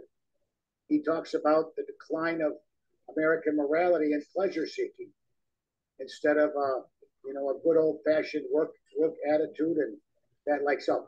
I also know too that the decline of the family, I mean traditional family like mother, father, and everything else has also led to our decline. I'm not going to condemn LGBTQ or gay people because they are here. They are human beings and they do need certain rights. What I don't like is when they're given specialized special privilege like a lot of others are. I also too have not been upset for uh, our black people, but they didn't really get integrated into society until they had full civil rights in the 60s. Traditionally, when immigrant groups come over here, they usually take about two generations to really uh, get assimilated into American culture, and they usually do. And uh, if they don't assimilate, they usually wind up leaving. Now, for example, in Europe right now, there's a lot of people not assimilating, and there's a lot of people who, Muslims who flee uh, some of these certain countries, they want to rec- recreate it in their new home country and don't want to learn what the Western values are. Frankly, what I need, what, what I really think we need to do is look at our own selves first. Are we acting corrupt or are we acting honorably? Are we fostering the problem or are we helping to solve the problem? And a lot of that just means looking inside and saying to yourself, Am I committing good or evil? Am I living up to the standards that I set for myself? I think religion and uh, God, and uh, whether it be Jewish or some of the more pure forms of Muslims or even the Christians and some of the people on there, should look at it and judge their own actions. You know, it's not the systems that are going to be the problems because we find corruption in the communist system. We find a lot of corruption in the capitalist system. It's just which one works better. I think that's going to be a capitalist system myself, based on the fact that it does have some self regulating principles in it. If you don't want a bakery and you don't like their food, you just go to another one and give them your money. You can vote for the goods and services you like. And if there is a monopoly, um, eventually they do go out of business because they people will not buy from them after a while. And if they try to control things, there's usually such things as government, like the uh, like what happened under uh, Roosevelt when he was broke, broke up Standard Oil and some of the other trusts. We've seen this before. We've seen if you look at your history between the 1890s and about 1920 or 1930, you're going to find a lot of parallelisms between then and now. So I'm going to, going to say this person and woman, examine yourself and learn your history. Are we going to have another depression? Charlie, that's a question. That's a question. Okay. History repeats itself. All right, Let's Margaret. have to. I'm gonna go. Ernie's capitalism wonderful. Okay. Margaret, Yes, just a second. I'll have to, un- we'll get you next, Margaret, after uh after Ernie. Okay. no problem. Mine's right. simply a comment. All right, yeah. Uh, one quick thing to agree with uh, on Tim is that it's important to have regulations. We just had had a short uh, or a fairly long illustration of what happens when regulation on time for rebuttals uh, is not properly controlled because the uh, because the regulator is is rebutting. Anyway, uh, Sid, a very, a very, very good summary uh, recent economic history. While I disagree with many of your conclusions and what should be done and how it should be done, but nonetheless, you gave us a good, a good historical summary. Um, I believe, uh, as I think you do, we need a fair distribution of wealth. I think our distribution of wealth in this country is terrible. We're very good at creating wealth and, and creating innovation in this country better than any any society in past history. But uh, the distribution is is totally out of whack. I, I get sick to my stomach uh, when I hear about these salaries of athletes getting two hundred million dollar uh, salaries for a few years, these new contracts. Totally insane. It's totally insane the amount of wealth that a, that a few uh, very rich people have. Uh, and we have to do something about that. However, to set the facts straight, a lot of people have, have quoted this business about three people have as much wealth as everybody else.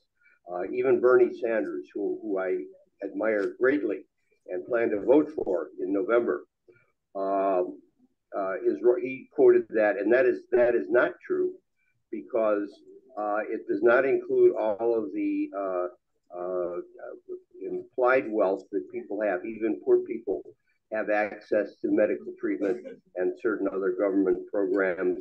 I'm not even sure that Social Security benefits are included for the people that uh, uh, you know, are, are not in that rich three. So it's, but but the, the, the numbers are still way out of whack, even if they're not that far out of whack. Uh, the way I think we should handle this, I've said this before, is through taxation. I think we need a one-time net worth tax to try and kind of level things out a little bit, and then an annual net worth tax as well as a progressive income tax. We would have to file a statement each year, not just of our income, which we do now, but also of our net worth and and that would be subject to some uh, progressive tax. And then we could get rid of regressive taxes such as sales tax. Now we're getting rid of the regressive grocery tax here in Illinois, but there are still lots of others that we should get rid of. The only the only transaction taxes we should have are those which are intended to control behavior, such as liquor taxes, smoking, gasoline, things like that. Those those taxes could be uh, beneficial. Um, as far as socialism versus uh, uh, free market, uh, all countries in the world, currently and pretty much in the past as well, are amalgams of socialism and maybe even a little communism and, and free market. Some of them have emphasized very highly, highly one system or the other, such as China very or the collectivist and Russia was quite toward the collectivists, but not 100%. Uh, and today, uh, we are partially socialist. I, I, take great joy in pointing that out to some of my right wing friends that, that we're a socialist country in part.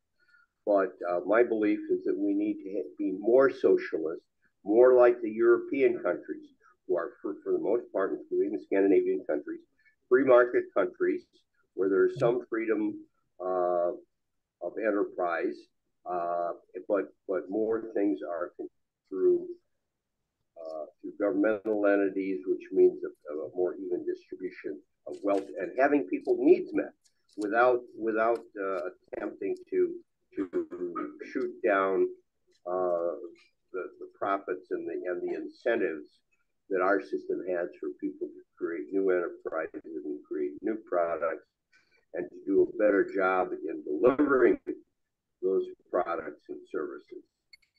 This is what, what has made us very, very, very prosperous. Um, is it an economic system? What is the difference between Marxism and authoritarianism and dictatorship? Marxism is an economic system. Authoritarianism and dictatorship are political systems. Uh, history shows one of the reasons I certainly favor uh, a large, in large part, our free, uh, our free uh, uh, enterprise system. but I think we need to tax more. I think we need to even the wealth out with taxes.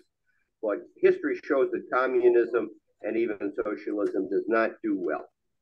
Okay, the countries that have it uh, generally are not as prosperous, and the standards of living are not as high as in countries that have a market system of one sort or another. I think our problem lies in our political system, not in our economic system and in our democracy. The way our democracy is set up, it is it is uh, a system. It's a market democracy. First, the people who are the best at marketing themselves and their ideas, and thereby get the most votes, are the people who control. Not necessarily the people that have the best ideas or the most uh, have the most integrity and are the hardest working and so forth in government. It's, it's whoever can sell it. And, and it often is sold to people who have something to gain, either wealthy people or corporations. They want certain things uh, to help them, and they will put their money where their mouth is, and, and they often get what they want, which is not necessarily best for the country as a whole. Uh, and, and as far as the, uh, the two party system, um, it tends to lead more to fights, not to solutions.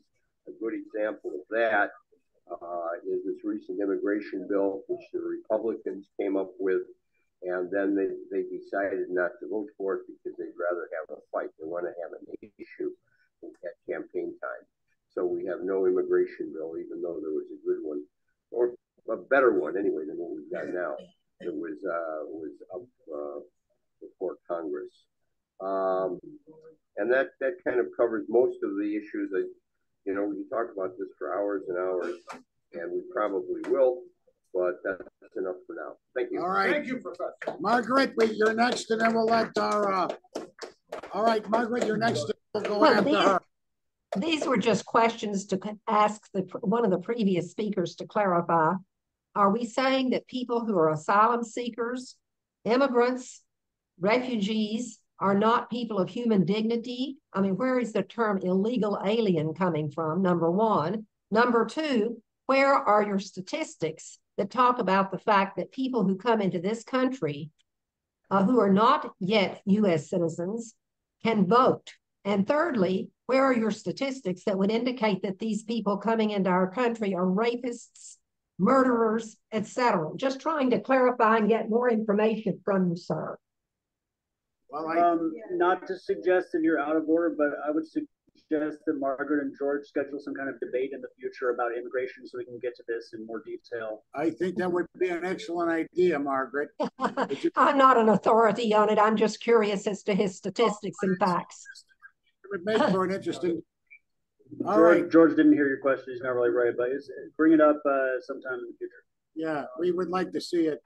Okay, uh, Ready for you, Joe. Go ahead. all right, your, your rebuttal's next, and, uh, take your, take your five minutes or whatever you need, and, uh, Sure. So, uh, Margaret, I just want to say first off, if you could share your email in the chat, uh, I think you and I should talk to Tom O'Donnell because you had a comment a few weeks ago. I think it was about infrastructure or something, and I definitely want to, you know, want to make you understand your concerns are valid, and, uh, and we should solve all of these problems, not gloss over them. Um, so I just wanted to remind everyone that there's more than two people running for president. Um, the great thing about uniting free markets and democracy, which is what we're trying to do in America, is that this country is a land of opportunity. We're supposed to have lots of choices, and that means in the voting booth and on the shelves. So, uh, Trump, the choice between Trump and Biden and RFK, they're they're trying to make us choose between these people in a false dichotomy. They're setting up uh, false opposites, and we need to just resolve to vote for people who have never been accused of genocide or rape or child abuse. And right there, that knocks out the top three people in the running. So there's running, they're called minor party candidates. Uh, to address what Charlie said, um, Nikita Khrushchev said, "We will bury you," but some people say it's a mistranslation. He said uh, something like, "We will dig your, we will dig you up" or something. Uh, and Khrushchev clarified this later. He he didn't mean to threaten a communist invasion. What he was saying was that the American working class would bury the people, because um, basically implying the workers workers of America would overthrow capitalism eventually. Uh, to address what Tim said, uh, I don't agree with the statement that Stalin killed 60 million people. For, for one, there weren't 60 million people who died in the Soviet Union between 1924 and 1953. If you want to add up all the people killed by all the communist regimes in the entire world over the last hundred years, maybe that adds up to 60 million, maybe even more. I'll grant you that. Uh, but we should remember Stalin signed the death warrants of 830,000 people. Not saying it's good, just saying it's true. And people say that, oh, Stalin killed people in the Holodomor famine. It's like, no, he inherited a famine. There was already a famine. Stalin his farms in order to try to address the problems of the famine. Yeah, well, I mean, I don't mean to, I don't mean to support, to, to promote Stalin here. And Sid was absolutely right. The party had too much, especially over the workers and they prioritized uh, preparing for the war that Lenin and Stalin knew would eventually come in Germany, and uh, they took grain away from people and they caused some starvation while solving some of it. So they implemented a solution that actually just caused more problems. So of course there are problems, but uh, have to remember we should be grateful for eight million of the people that Stalin did kill because those people were Nazis and they needed to be killed. Um, I'm glad that Tim brought up the commons and the internet because uh, this helps uh, remind us something I talked about in my Taft Hartley lecture. There's more than sectors of the economy. We're used to having this false dichotomy, like I'm saying, Trump versus Biden, capitalism versus communism. It's all fake choices. There's not just the public and the private. There's the pure public sector. There's the commons, which is like, I mean, common farms and uh, nature. Um, there's private sector. There's companies whose property claims are defended and protected by the state. And there's clubs and private clubs and individual run businesses. There's people who protect their own property claims. And so this is why I'm not a libertarian anymore, because they say uh, oh, the state should protect people's property claims. They, they say the state shouldn't do anything, but they do believe in the use of violence to protect people's property claims. Property claims need to be open to competition, or else you don't have capitalism. And uh, and John Lee, I think, pointed out, and sorry if I'm mispronouncing your name, you're right that socialism and capitalism and all these terms they're uh, poorly defined and it's confusing, and we need to be more specific about it. There's dozens of types of both socialism and capitalism. Many of them haven't been tried yet. And uh, Carrie brought this up in the chat. Um, uniting socialism or capitalism or having a mix. Uh, if you're interested in having a mix, uh, look up systems called mutualism and Georgism. And Joseph Tito in, in Yugoslavia, uh, I don't know what the name of the system was, I don't know what they called it, but it was to neither be communist nor capitalist, to try to be on friendly terms with both and be neutral. And there's a, there's a neutral caucus in the UN that's it's called the non-aligned movement, the NAM. And their idea was to have uh, most businesses be collectively owned, but still have a market structure so that those collective businesses can trade with each other. That's neither full capitalism nor full communism. So there is a compromise that we can make, and we can have it without markets or with markets, without money or with money. Um, and this is going to be unpopular, what I'm about to say, but I just want to say, uh, Mike, um, if you support free speech, you should consider supporting Citizens United because uh, it's not that money is free speech, it's that money is part of our right to give freely, which is part of our self expression, and that's part of our right to free speech. And the this okay, we can talk about that. Um, one of the things that Citizens United, um, so the McCain Feingold Act put limits on campaign donations, and that was struck down by Citizens United. But that's partially good. Not to say the whole Citizens United is perfect or anything. I know it's very unpopular. But another thing the McCain Feingold Act did was it limited our speech in the month before an election. Um, people couldn't make documentary films to be aired about a particular candidate within 60 days of the election. And that interrupts our ability, that interferes with our ability to find out about October surprises. And the last two elections, the information that came out about John Podesta and Hillary Clinton and then later Hunter Biden that totally swung the election and changed what people think. And if we had had the McCain Feingold Act in place, we wouldn't be able to hear information in the two months before an election that might influence our decision. And I think we shouldn't give Congress the freedom to limit our free speech. That, that's ridiculous. Thanks. Any more rebuttals? All right, go ahead. Uh, uh, Ellen, you want to go up and uh, make your rebuttal? Go ahead. Okay, Charlie, you'll go right after Ellen. All right, you'll go after Ellen, Charlie. Then we'll get Andy, I think, after that.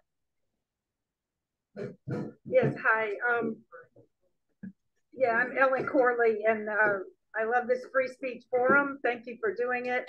Uh, you know, it's so important for us. And um, thank you, Sid, for, for giving your talk. Uh, I I look at free speech uh, forums kind of like you know like society itself, like the ideal model classroom, John Dewey progressive democratic classroom idea that where I learned, you know, you use the dialectic method to to examine issues, problems, uh, be able to find a synthesis between your thesis and your antithesis. And, um, you know, it's, this is what, uh, you know, I think ideally what I'd like to see is more openness. Uh, I think, you know, like a classroom, if Charlie uh, picks the topics, you know, eight, 10 weeks in advance, that makes it difficult. I, idea, you know, um, I think uh, Jim Fix Spitzer, a really brilliant guy that that I've we've had here twice. Uh, you know, he's a philosopher. I guess they call him a conspiracy theorist, but um, you know, he's a model of.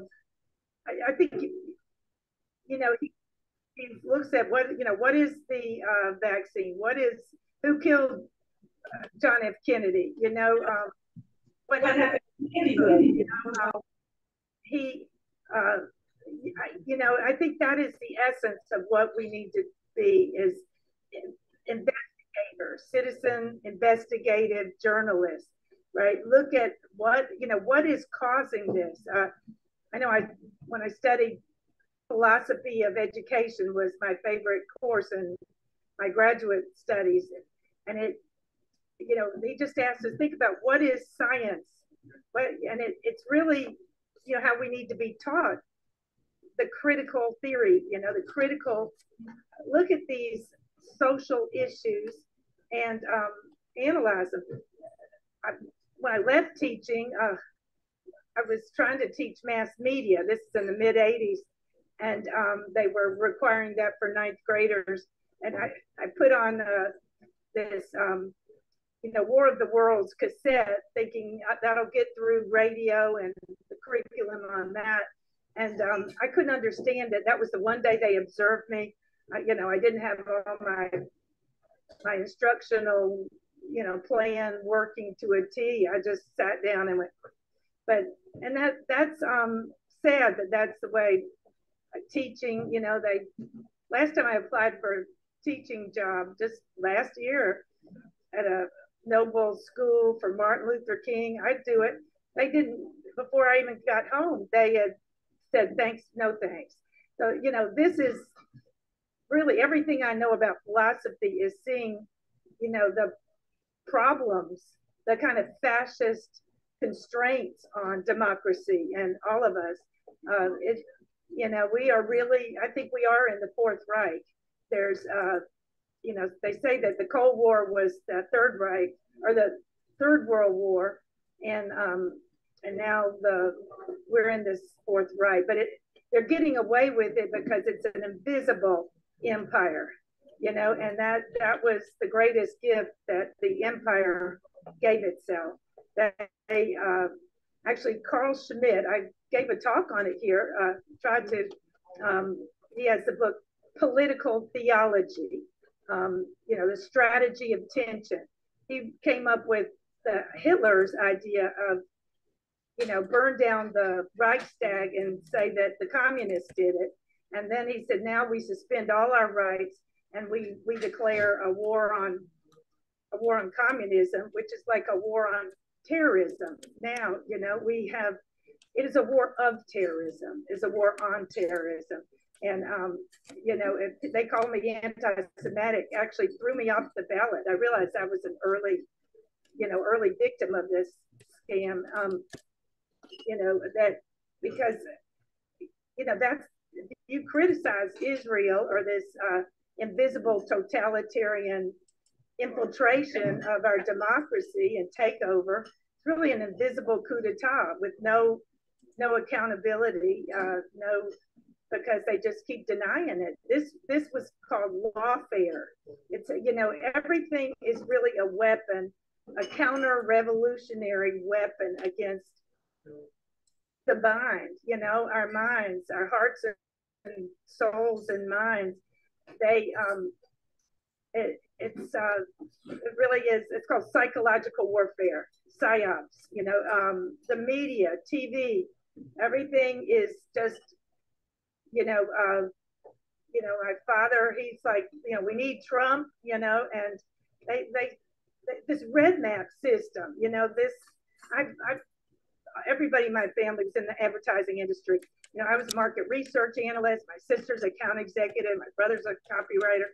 You know, father's in sales. You know, and what we have now, uh, luckily before that, I I had a master's in education, and you know, we really have to think of ourselves as teachers and students and mutual self learn helpers, learners, um, because the the you know the commerce model, the commercial model of everything's propaganda is um, that's what we got. They're uh, and they could just sell us poison, and um, which they're doing, mandating we take the poison and pay twice as much for it. And, um, you know, I, I was, I know my time's almost up, but I, I was telling a, a girl at a meeting, this, a Bill and Dr. Bob, a play about AA. And they, um, the truth is that AA split off from fascism because uh, ideally Buchman, Frank Buchman, was the fascist that that initially, uh, you know, got sober and inspired Bill Wilson to get sober. But and he went directly into the Center for Moral Rearmament, directly into fascism. And AA said, we are not aligned with any sect, denomination, organization, institution. We neither endorse or um, oppose any causes.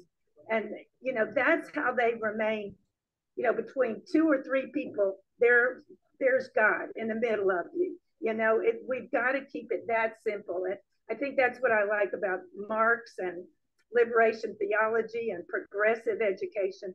It's subjective, it's people centered, as opposed to what my stepfather, the Ayn Rand uh, disciple, taught me was was brainwashed with, which is objectivism. We are objects and are like bugs in their jar, and um, he couldn't see it. You got to have the left brain and the right brain. You've got to have the subjective. You've got to be able to. Uh, Bob Lichtenberger says make meaning and but also question authority. Say what they don't want us to say. I don't know how we're going to get a decent person elected, but uh, I think we need to all run. That's all I got. Thanks. All right, Charlie, you're next. Okay, Charlie, you're next, and then we'll get you or Andy. Okay, Andy, and then we'll get you. Okay, Charlie, you're next. Go ahead, unmute. Unmute, Charlie. Charlie, unmute if you're gonna rebut. Unmute, Charlie. Charlie, you gotta unmute. There we go. All right, first of all, I'd like to thank Sid for a very nice uh, topic, covered a lot of areas. I will be brief as usual. Uh, I will cover five areas uh, because I organized my rebuttals.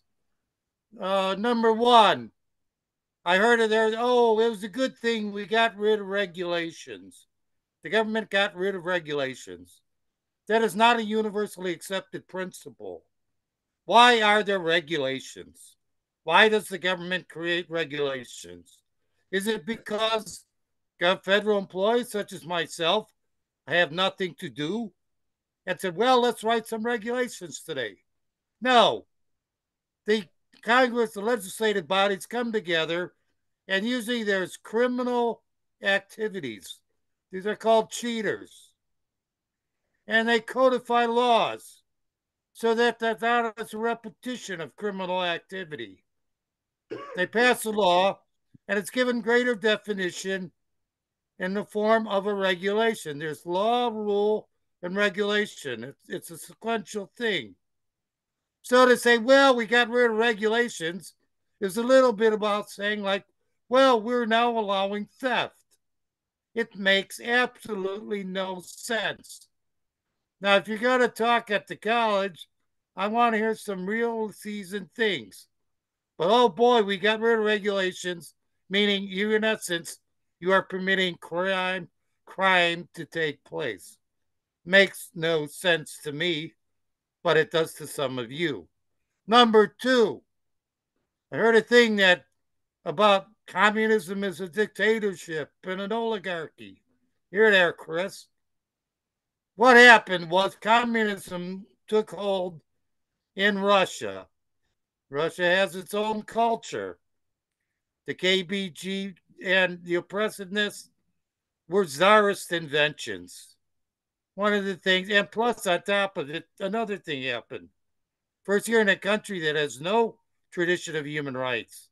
And number two, I mean, it was really oppressed in Russia. Unbelievable. And number two, who won the revolution? The Bolsheviks. There's another group has no just no no fondness of human rights whatsoever. So you're in a country with no no history of human rights, and the guys taking over are bad guys. So it doesn't mean that communism or socialism by any means is oppressive. You have to look at what country it happens in. In England, there was no oppression. in other countries around the world, including the United States, Germany, whatever. All right, that's the second one. Uh, third one is all the thing about immigrants. Within a generation or two, the immigrants get assimilated more so quicker than ever, and they start paying back whatever little assistance we gave them to get settled. And they pay back 10 times more by joining the economy and becoming productive citizens. So it's a think of it as a loan. It's not a gift. So what I said, put that to bed. Number uh, and the fourth thing is, I've also heard again, like Ernie, that and Tim in particular says this all the time, that capitalism produces more goods and results in a higher standard of living, which is true than communism. Capitalists are very good at producing goods cheaply. But who does this production? Children? People working like slaves in some factories? These factories in Asia? And say, oh, whoa, this, this is a measure how it works. It's only a measure. It is actually a, a, uh, a measure of how oppressive a system can be. It produces more goods than communism. That doesn't mean it's better. It means it's worse. Someone is paying the price for producing these goods cheaply. Someone is, again, there's a cheater operating there. That's all you're saying. You're, oh, you're saying more cheating is better. All right. And the, um, let's see. Um, oh, and the last thing is we hear a lot about conspiracy theories. We just heard some here tonight. Conspiracy theories aren't bad the first or second time you hear them. But let's come on now. Over and over and over again, these become obsessions with some people. And they stay up all night trying to establish the truth or validity of particular theories. And the fact of the matter is, I was thinking the other day, I've yet to hear, I've heard a lot of all the conspiracy theories over and over and over at the college, but never once have any of these ever been proven true. How come? You just keep and repeating them, and you never have been proven one. Show me one conspiracy theory that has ever been established as true. This guy did this, and this guy did that, and this happened, and that happened. And there's a zillion, a zillion of these, but never one of these propositions ever established as true. That's just it. So please, if we've heard your conspiracy theory once or twice at at the college, May give it a rest. People claim there's an update on it, and there's nothing new coming out about a lot of these. They they get settled in and so forth. But I've yet to hear one. I mean, I like them. They're kind of interesting. Another analysis, another explanation of what took place. But sooner or later, you've got to establish the validity of your your preposition. That's it. All right. Thank you very much, Sid. Oh, come again when you got a chance. Thank you. All right, Andy Anderson, you're next. Go ahead. Uh, the first thing I would say, I would ask Charlie to print out a list of conspiracy theories he thinks are talked about too much at the college that have never been proven. You so, got your own list. I, Use your own list that you had out. Charlie, they're all good. I just say that? He has out a list of them. Charlie, we got we. I wish you would uh, let Andy have his time. We had yours without interruptions. Yes, a question. Charlie, uh, Charlie, uh, uh, there's a great, um, I've probably read 20 articles from different sources in the last month that say if you tell the truth in America on something, if you tell the God's awful truth that the billionaires don't want us to know about, then they they tag you as a conspiracy nut telling the truth in America on several different subjects, Charlie will start screaming into the mic, that's a That's a conspiracy. You have no proof. When Charlie is standing in a blizzard of evidence claiming he can't see a single snowflake. Snowflake. Okay, And Andy, that's let's- what, that's what we've got in America. People are standing in a blizzard and maintaining, I don't see anything. I, I have, I, I can't see any evidence at all. And everybody see this thing I printed. It's a slogan means silence means consent. It comes down, uh, it was spelled out real, really well in the movie A Man for All Seasons about Sir Thomas More. He said the English law means silence means consent. If I'm silent about the king's new oath that he wants to get a divorce, you must construe that I agree to it, not that I deny it. Well, si- if you're silent about something, it means it's o- you're okay with it. And Americans have been way silent about a lot of things for a long time, and it's creeping up on us to November 5th. Right now, a couple of quick points. People don't realize the analysis shows over the last 60 years, when a Republican administration is in office, the suicide rate goes up. The, the, the, uh, the, the, the, the standard of living of people goes down. When, when Democrats get in office, they begin to reduce the deficit, not, not increase it. Republicans that always shovel money to rich people, that's their job, is to get in office, take power, and shovel as much money to rich billionaire benefactors as they can before they get thrown out. Number two, on Common Dream, Common Dreams Today, the Common Dreams website, there's an article that said the G7 countries, the top, that's Canada, Japan, America, UK, the seven G7 countries spend 62 times as much on military stuff as they do on humanitarian aid.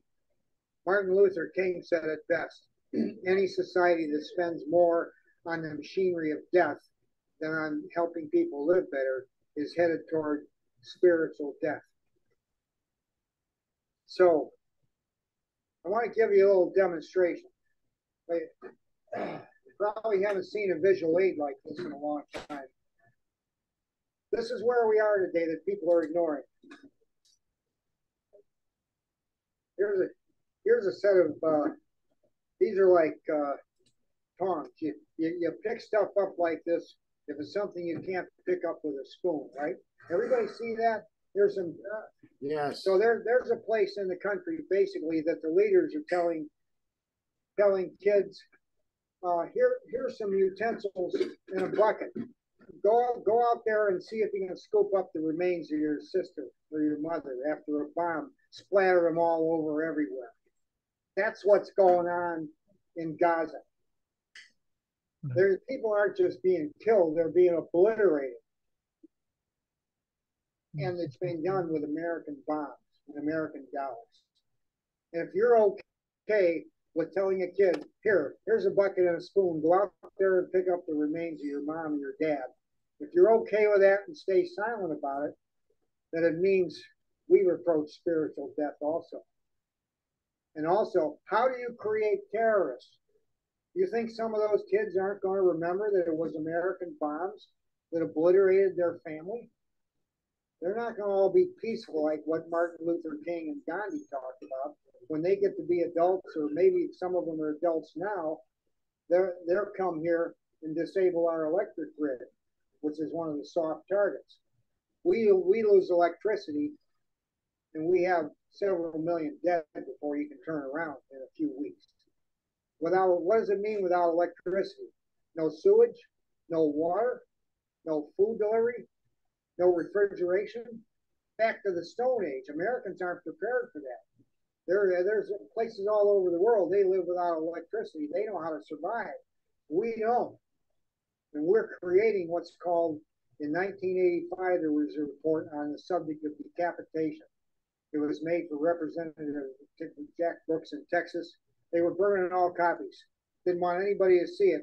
Two-year study for Congress about how fast the United States, the head of government, could be decapitated was one suitcase nuke brought into Washington in a backpack.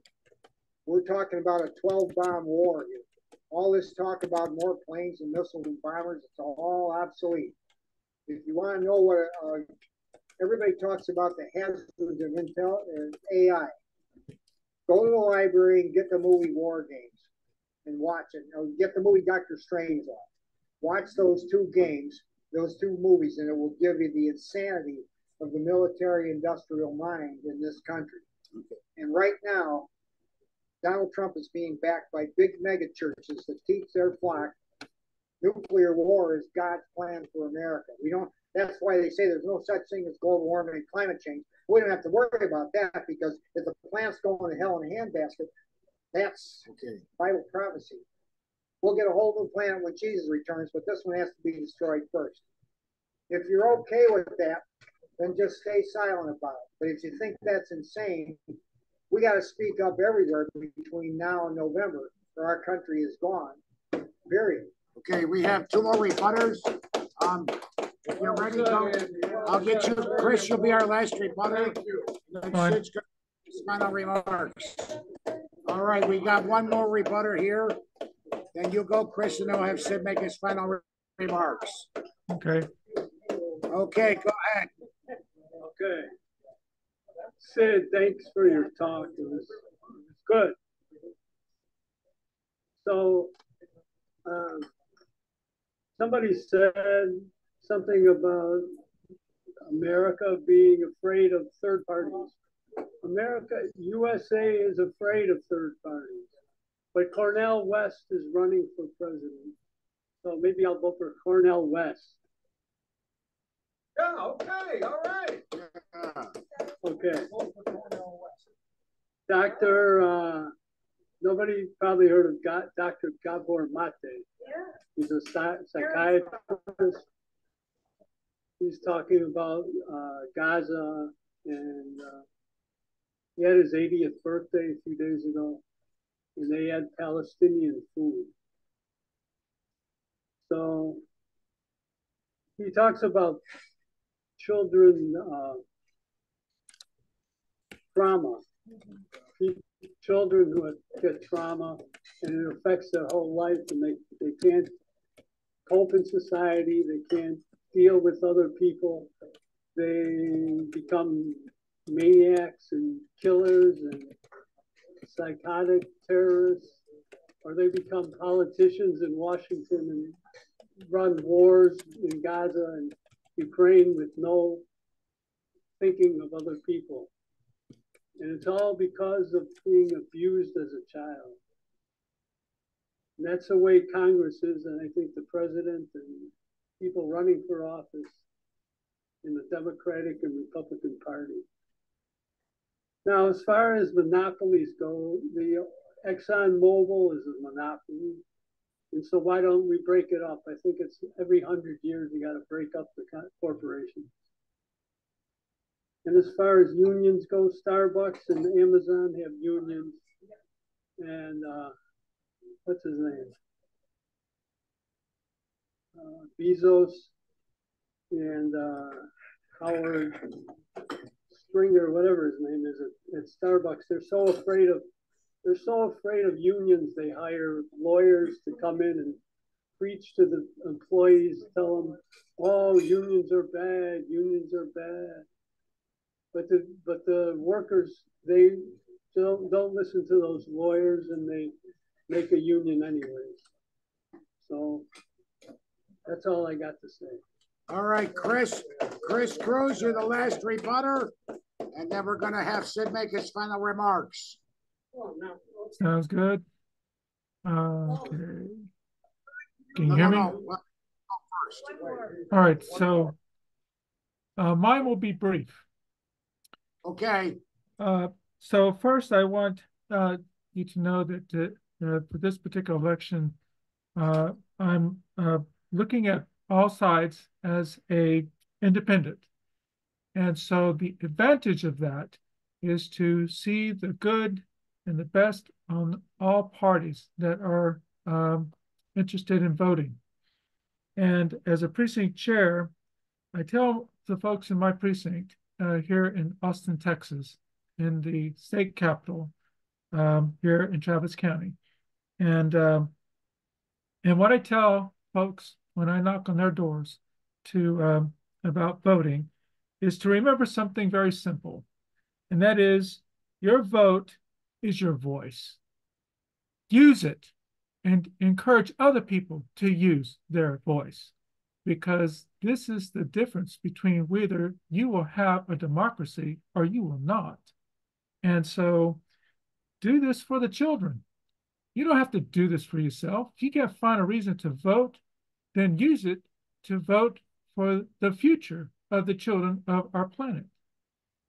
I want to remind everybody something, uh, and that is um, one of the things that I learned in um, in, in the United States Air Force is the um, transit pilot.